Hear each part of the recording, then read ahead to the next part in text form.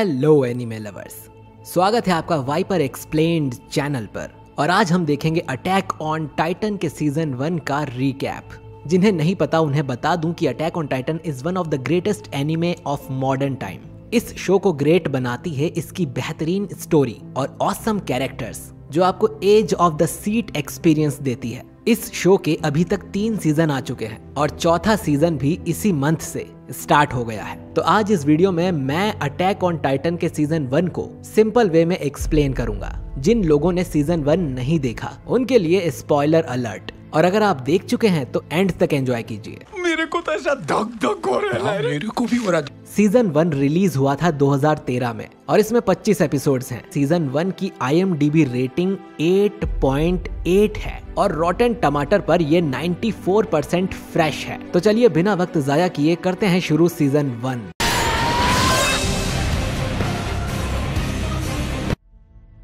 कहानी की शुरुआत में हम देखते हैं इस शो के मेन हीरो एरन येगर को, जो कि एक डरावना सपना देख रहा था। एरन अपने होम टाउन शिगानशिना में है। शिगानशिना वॉल के बाहर की चार डिस्ट्रिक्ट्स में से एक, जो लगभग 50 मीटर ऊँची वॉल्स से घिरी हुई है। इन वॉल्स को बनाया गया है टाइटन से बचने के लिए। करीब 100 साल पहले मानवता को एक नया दुश्मन मिला, और ये थे जायंट मॉन्स्टर्स जिन्हें टाइटन्स कहा जाता है। ये टाइटन्स इंसानों को खाने लगे और मानवता को लगभग मिटा ही डाला, और इनसे बचने के लिए इंसानों ने तीन बड़ी बड़ी वॉल्स बनाई। सबसे बाहर की दीवार का नाम मारिया है, बीच की दीवार का नाम वॉल रोज।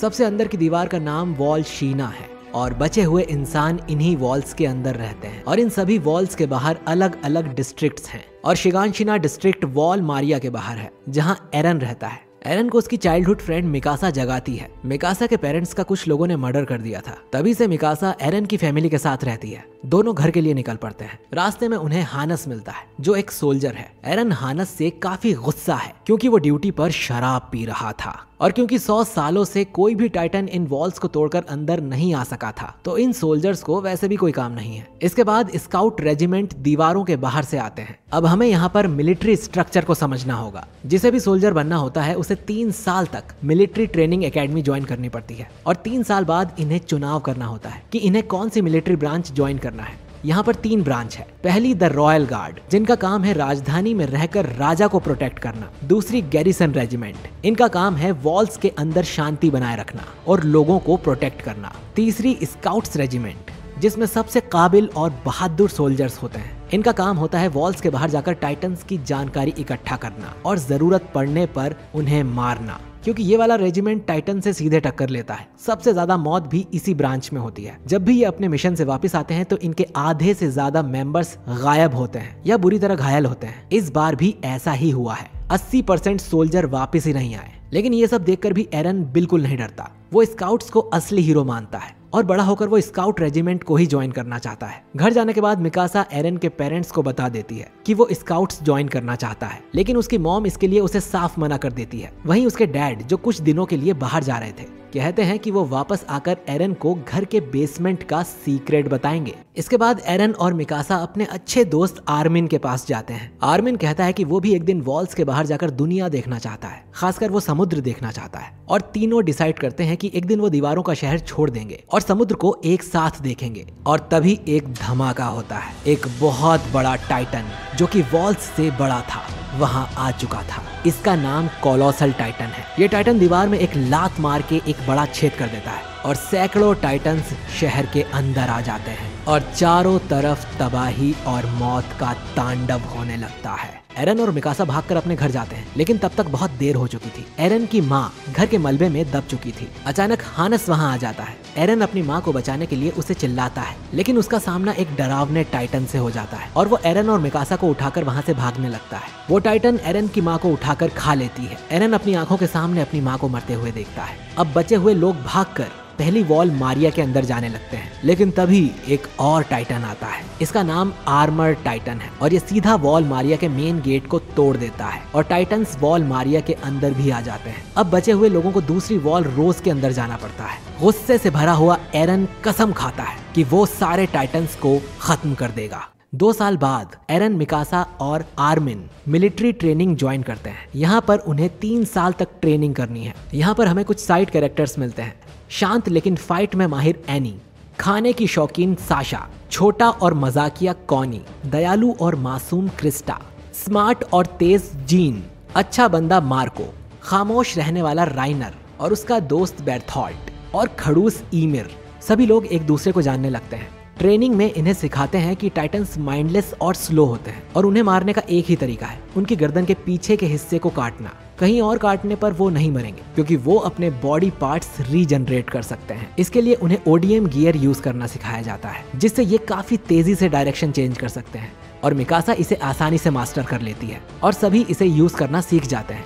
सिवाय एरन के, रात को एरन अपने साथियों से पूछता है कि वो फेल क्यों हो रहा है, और फिर वो रैनर और बेर्थॉल्ट से पूछते हैं। अब वो उसे हेल्प तो नहीं कर सकते, पर उनकी कहानी भी एरन जैसी ही है। उनके छोटे से गाँव को भी टाइटंस ने बर्बाद कर दिया था, और इन लोगों ने भी टाइटंस के डर को करीब से देखा था। ये चारों बात करते हुए बाहर जाते हैं, जहाँ राइनर बताता है कि ये सब खत्म होने के बाद वो बस अपने होमलैंड जाना चाहता है। वो एरन से पूछता है की वो क्या चाहता है, जिस पर एरन जवाब देता है की वो सभी टाइटन्स को मिटा देना चाहता है। चारों ने अपने गोल्स चुन लिए थे। अगली सुबह एरन थोड़ी देर के लिए अपने आप को संभाल लेता है, लेकिन फिर से गिर जाता है। कमांडर उसे एक नया बेल्ट पहनने को कहते हैं। और इसके बाद एरन को कोई परेशानी नहीं होती। एरन की पुरानी बेल्ट किसी कारण से टूटी हुई थी। तीन साल बाद सभी अपनी ट्रेनिंग कंप्लीट कर लेते हैं। टॉप टेन में थे Krista, Sasha, Connie, Marco, Jean, Eren, Annie, Bertholdt, Reiner और मिकासा। कुछ टाइम बाद उन्हें ये डिसाइड करना था कि उन्हें मिलिट्री की कौन सी ब्रांच में जाना है। लेकिन अभी के लिए उन्हें ट्रोस्ट ज़िले में भेजा जाता है, एक्सपीरियंस के लिए। एरन, मिकासा और आर्मिन फैसला करते हैं कि वो स्काउट्स रेजिमेंट को ज्वाइन करेंगे और साथ मिलकर समुद्र देखेंगे। अगले दिन उन्हें यहाँ हानस मिलता है। हानस माफ़ी माँगता है कि वो उस दिन एरन की माँ को बचा नहीं सका। इनका पूरा ग्रुप वॉल के ऊपर पेट्रोलिंग करने लगता है और सब कुछ सही जा रहा था। एरन के दिमाग में यही सब चल रहा था कि टाइटंस को इंसान हरा देंगे और इंसान की ही जीत होगी, कि तभी एरन के पीछे कोलोसल टाइटन प्रकट होता है और इस वॉल का मेन गेट तोड़ देता है। साथ ही वॉल पर रखी कैनन को भी डिस्ट्रॉय कर देता है, जिसका मतलब ये टाइटन दूसरों की तरह नासमझ नहीं है और इंटेलिजेंट है। एरन पूरे गुस्से में उस पर अटैक करता है। लेकिन वो हवा में गायब हो जाता है। टाइटन्स ट्रोस्ट शहर के अंदर घुसना शुरू कर देते हैं, जबकि स्काउट्स किसी मिशन से बाहर गए हुए थे। अब गैरिसन रेजिमेंट और एरन के ग्रुप को ही इनसे लड़ना होगा। सभी को अलग अलग ग्रुप्स में बांट दिया जाता है और सभी टाइटन्स पर अटैक कर देते हैं। लेकिन टाइटन्स कई सारे सोल्जर्स को एक एक करके मारने लगते हैं। इनके सर पर मौत नाच रही थी। ये सब देखकर आर्मिन भी डर के पैरालाइज हो जाता है और टाइटन आर्मिन को उठा के खाने लगता है। लेकिन तभी एरन वहाँ आ जाता है। और आर्मिन को बचा लेता है, लेकिन एरन खुद नहीं बच पाता और टाइटन उसे खा जाता है और शो का मेन हीरो मारा जाता है। हर कोई डरा हुआ था। कुछ लड़ रहे थे, कुछ छुप रहे थे और कुछ लोग तो सुसाइड भी कर रहे थे। निकासा को भी एरन की ही चिंता हो रही थी। लेकिन जब वो आर्मिन के पास जाती है तो उसे पता चलता है कि एरन मर चुका है। निकासा आर्मिन से कहती है, सब ठीक हो जाएगा और बचे हुए लोगों को मोटिवेट करती है, टाइटन से लड़ने के लिए। और खुद भी टाइटन्स को मारती है। लेकिन उसके ओडियन गियर की गैस खत्म हो जाती है और वो ज़मीन पर गिर जाती है। मिकासा टाइटन से घिर जाती है और वो अपनी सारी उम्मीद खो चुकी होती है। लेकिन मिकासा अपनी टूटी ब्लेड से भी लड़ने के लिए खड़ी हो जाती है। जैसे ही वो टाइटन मिकासा को खाने वाला था, एक दूसरा टाइटन कहीं से आता है और उस टाइटन को मार देता है। ऐसा पहली बार हुआ था कि एक टाइटन दूसरे टाइटन को मार रहा था। आर्मिन मिकासा को रेस्क्यू कर लेता है और नया टाइटन दूसरे टाइटन्स को मारना जारी रखता है। आर्मिन बाकी के ग्रुप के साथ प्लान बनाता है कि उन्हें इस नए टाइटन का यूज़ करना चाहिए, बाकी के टाइटन्स को भगाने के लिए। लेकिन नया टाइटन अपनी लिमिट पर पहुँच जाता है और दूसरे टाइटन्स उसे खाने लगते हैं और नया टाइटन गिर जाता है। सफ़ेद धुएँ के बीच हम देखते हैं एरन को, जो ज़िंदा था।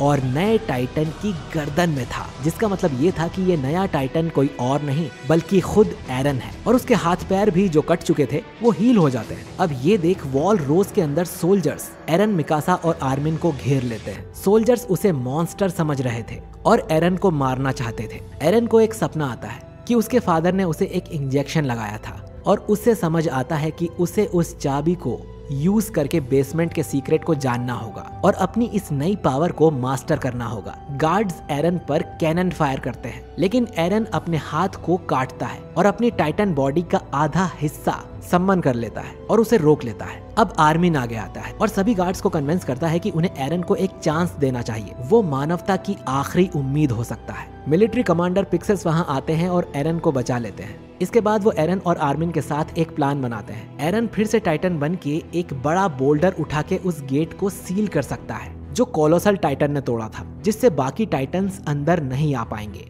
पिक्सास अपने बाकी के सोल्जर्स को ये प्लान बताता है और सभी डरे हुए होकर भी एग्री करते हैं और एक ग्रुप एरन के साथ भेजा जाता है और बाकी सोल्जर्स टाइटन्स को दूसरी तरफ़ उलझाए हुए थे। एरन फिर से टाइटन में ट्रांसफॉर्म होता है, लेकिन वो अपनी टाइटन बॉडी को कंट्रोल नहीं कर पाता। और मिकासा पर ही अटैक कर देता है और बेहोश हो जाता है। आर्मिन एरन के पास आता है और उसे अपना सपना याद दिलाता है, जिससे एरन जाग जाता है और अपनी टाइटन बॉडी को पूरी तरह कंट्रोल कर लेता है। फिर वो बड़ा सा पत्थर उठाता है और इसके साथ ही वो होल की तरफ़ चल पड़ता है। बाकी सोल्जर्स को एहसास होता है कि उन्हें एरन को बाकी टाइटन से प्रोटेक्ट करना होगा और उसका रास्ता साफ़ करना होगा। भले ही ऐसा करने पर उनकी जान ही क्यों न चली जाए। एरन आगे बढ़ता है और उस गेट को सील करने में कामयाब होता है। ये मानवता की टाइटन्स के खिलाफ पहली जीत थी और अंदर के टाइटन्स को स्काउट्स लीजन और कैप्टन लिवाई मार देते हैं। लेकिन दो टाइटन्स को ज़िंदा पकड़ा जाता है उन पर रिसर्च करने के लिए। इसके बाद वो मरे हुए लोगों को इकट्ठा करते हैं। अनगिनत लाशों में मार्को भी था, जिसका ओडियम गियर किसी कारण से गायब था। एरन एक जेल के अंदर जागता है। उसके सामने थे स्काउट्स रेजिमेंट के कमांडर आरविन स्मिथ और साथ में one of the best soldier, captain Levi. दोनों उसके टाइटन पावर के बारे में पूछते हैं और ये भी पूछते हैं कि वो किसकी तरफ़ है, क्यूँकी अब उन्हें भी समझ आ रहा था की कोलोसल टाइटन और आर्मर टाइटन भी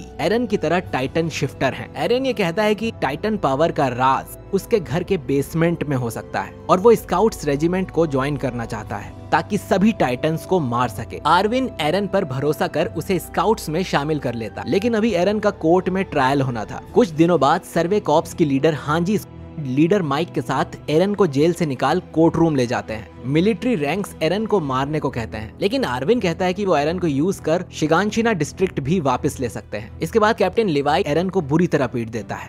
कुछ मुँह में घुसेड़ा, उसके बाद मेरी बत्ती गुल हो गई। और ये कहता है कि एरन ने कुछ भी गलत किया तो उसे तुरंत मार देगा। इससे सहमत होकर एरन को स्काउट्स के हवाले कर दिया जाता है और एरन लिवाई स्क्वाड ज्वाइन करता है, जिसमें इनके अलावा थे ऑल्बो, गंथर, एल्ड और पेट्रा। ये अपने पुराने हेडक्वार्टर्स में जाते हैं। यहाँ हांजी एरन को अपने एक्सपेरिमेंट्स के बारे में बताती है, जो उसने उन दोनों टाइटन पे किया था। उन्हें पता चला कि टाइटन्स बिना सनलाइट के रुक जाते हैं। और उन्हें ज़िंदा रहने के लिए सनलाइट के अलावा और कुछ नहीं चाहिए। ना खाना, ना पानी। वो इंसानों को तो सिर्फ़ मज़े के लिए खाते हैं। लेकिन कुछ दिनों बाद उन दोनों टाइटन्स को किसी ने मार दिया और अपराधी इन्हीं के बीच छुपा है। इधर बाकी के लोग डिसाइड करते हैं कि उन्हें कौन सी ब्रांच को ज्वाइन करना है। एनी आर्मिन से कहती है कि वो ज़िंदा रहना चाहती है। इसीलिए वो रॉयल गार्ड चूज़ करेगी। फैसले का दिन आ चुका था और सिर्फ़ 21 लोग ही स्काउट्स रेजिमेंट को ज्वाइन करते हैं। डर इनको भी लग रहा था, लेकिन अब पीछे मुड़ने का सवाल भी नहीं था। इसके एक महीने बाद सभी वॉल रोज के बाहर जाते हैं। इनका मिशन था वॉल मारिया तक पहुँचना। और अब ये टाइटन्स के इलाके में थे। ये आर्विन के फॉर्मेशन के हिसाब से अलग अलग टीम में बढ़ जाते एरन लिवाई के साथ मिडिल में था। इनकी पूरी कोशिश थी कि ये टाइटन को अवॉइड करके आगे बढ़े, और ये ऐसा ही कर रहे थे। लेकिन तभी वहाँ एक इंटेलिजेंट टाइटन आता है। ये एक फीमेल टाइटन थी। जो सीधा ग्रुप्स को मारना शुरू कर देती है। ये भी एरन की तरह एक टाइटन शिफ्टर है। फीमेल टाइटन आर्मिन की स्क्वाड के लोगों को भी मार देती है, लेकिन वो आर्मिन को मारने से पहले उसका फेस देखती है और फिर उसे ज़िंदा वहाँ छोड़कर वहाँ से आगे बढ़ जाती है। राइनर और जीन आर्मिन के साथ हो जाते हैं और तीनों उस फीमेल टाइटन का पीछा करते हैं। राइनर उसे मारने जाता है। लेकिन वो उसे पकड़ लेती है। राइनर उसकी पकड़ से बच निकलता है और फीमेल टाइटन एरन की तरफ़ भागने लगती है। क्रिस्टा कुछ हॉर्स को लेकर इनके पास आती है और ये बाकी के ग्रुप्स को फीमेल टाइटन की चेतावनी देते हैं और फीमेल टाइटन एक एक करके स्क्वाड्स को मारते ही जा रही थी। लिवाई स्क्वाड एक जाइंट फॉरेस्ट में एंटर करते हैं। कुछ सोल्जर्स पेड़ों पर चढ़ जाते हैं, जिससे टाइटन्स को उनके पीछे जाने से रोका जा सके। लेकिन फीमेल टाइटन पहले ही अंदर पहुँच चुकी थी और वो एरन के पीछे ही थी। लेकिन लिवाई इस पर कोई रिएक्शन नहीं देता। और उसकी स्क्वाड को लेवी पर भरोसा था। ईरन टाइटन में ट्रांसफॉर्म होने को बोलता है। लिवाई कहता है कि फैसला उस पर है, लेकिन बाद में उसे पछतावा ना हो और एरन भी लिवाई पर भरोसा करके आगे बढ़ता है। और जैसे ही फीमेल टाइटन एरन को पकड़ने वाली होती है, एरविन एक सिग्नल देता है। एरविन की स्क्वाड ने इसके लिए जाल बिछाया हुआ था, और वो देख सकते हैं की इस टाइटन के अंदर कौन है। इधर आर्मिन को रियलाइज़ होता है की अगर फीमेल टाइटन उन्हीं में से कोई एक है तो कोलोसल और आर्मर टाइटन भी उन्हीं के बीच छुपे होंगे, और उन्हें पता करना होगा की वो कौन है। लिवाई और आर्विन फीमेल टाइटन टाइटन की गर्दन काटने की कोशिश करते हैं, लेकिन इस टाइटन के पास एक पावर है, जिससे कि वो अपने शरीर का कोई भी हिस्सा क्रिस्टल की तरह हार्ड कर सकती है। अचानक वो टाइटन चिल्लाती है और नॉर्मल टाइटन उनके पास आकर उसकी बॉडी को खाने लगते हैं। और अब सोल्जर्स को पीछे हटने पर मजबूर होना पड़ता है। उनका मिशन फेल हो गया था। इरविन को रियलाइज़ होता है कि जो लड़की फीमेल टाइटन की बॉडी में थी, वो ओडियम गियर का यूज़ कर भाग गई होगी। तभी लिवाई स्क्वाड के पीछे वो फीमेल टाइटन फिर से अपियर होती है और एक एक करके पूरे स्क्वाड मेंबर्स को मार देती है। एरन को रियलाइज़ होता है कि उसे पहले ही टाइटन बन जाना चाहिए था, लेकिन वो अब टाइटन में ट्रांसफॉर्म होता है और फीमेल टाइटन से फाइट करने लगता है। दोनों हैंड टू हैंड कॉम्बैट में लड़ते हैं, लेकिन फीमेल टाइटन इसमें स्किल्ड थी और एरन उसे छू भी नहीं पा रहा था। साथ ही उसके पास हार्डनिंग पावर भी थी। वो एरन टाइटन को हरा देती है और उसकी गर्दन से एरन को निकाल कर अपने मुँह में भर लेती है। लेकिन तभी वहाँ मिकासा और लिवाई आ जाते हैं। दोनों टीम वर्क करके उस फीमेल टाइटन से लड़ते हैं। और एरन को बचा लेते हैं, लेकिन फीमेल टाइटन भाग निकलती है। स्काउट रेजिमेंट्स वापस वॉल्स के अंदर आ जाते हैं। इनके ही सारे सोल्जर्स मारे गए थे। और अब इरविन को, एरन, मिलिट्री पुलिस को सौंपना होगा। इधर हम कैपिटल डिस्ट्रिक्ट देखते हैं, जहाँ एनी ने मिलिट्री पुलिस में ज्वाइन किया था। और स्काउट्स को कैपिटल तक लाने का काम मिलिट्री पुलिस को दिया जाता है,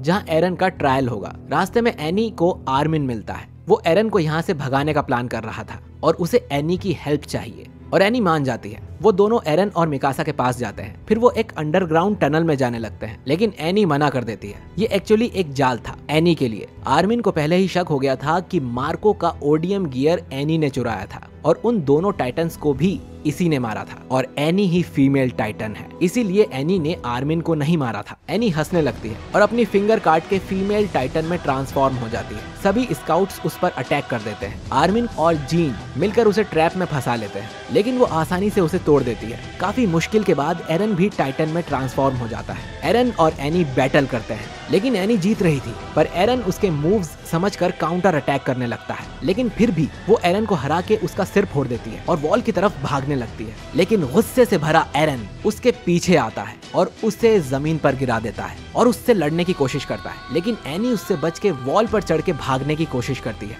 लेकिन मिकासा उसकी उंगली काट देती है और वो गिर जाती है। और एरन उसके हाथ पैर चीड़ देता है। लेकिन इससे पहले वो एनी को बाहर निकाले, वो चमकने लगती है और उसके आसपास एक क्रिस्टल बन जाता है। इधर कैप्टन लिवाई एरन को उसकी टाइटन बॉडी से काट कर बाहर निकालता है। हम एनी को एक विशाल क्रिस्टल के अंदर देखते हैं। जिसके अंदर एनी बेहोश थी। सबको रियलाइज़ होता है कि उन्हें एनी से कोई जवाब नहीं मिलेंगे, जब तक वो उससे बाहर नहीं निकल जाती। स्काउट्स क्रिस्टल को ले जाते हैं। इधर अरविंद काउंसिल से मिलता है और उन्हें कन्विंस कर लेता है कि एरन उनकी साइड है और उनका सबसे बड़ा हथियार है और बाकी के दो टाइटन्स कोलोसल और आर्मंड जो उनके ही बीच छुपे हुए हैं, उन्हें भी वो पकड़ लेगा। अब उनकी बारी है टाइटन्स को मुँह तोड़ जवाब देने की। वहीं इधर स्टोहेस डिस्ट्रिक्ट में जिस वॉल पर एनी चढ़ रही थी, वहाँ का एक हिस्सा गिर जाता है। और वॉल के अंदर हमें एक कोलोसल टाइटन का फेस दिखता है, जिसका मतलब इन वॉल्स में टाइटन्स को कैद किया हुआ है। और अटैक ऑन टाइटन का सीज़न वन यही खत्म हो जाता है। तो दोस्तों, आपको ये सीज़न कैसा लगा? कमेंट करके ज़रूर बताइए।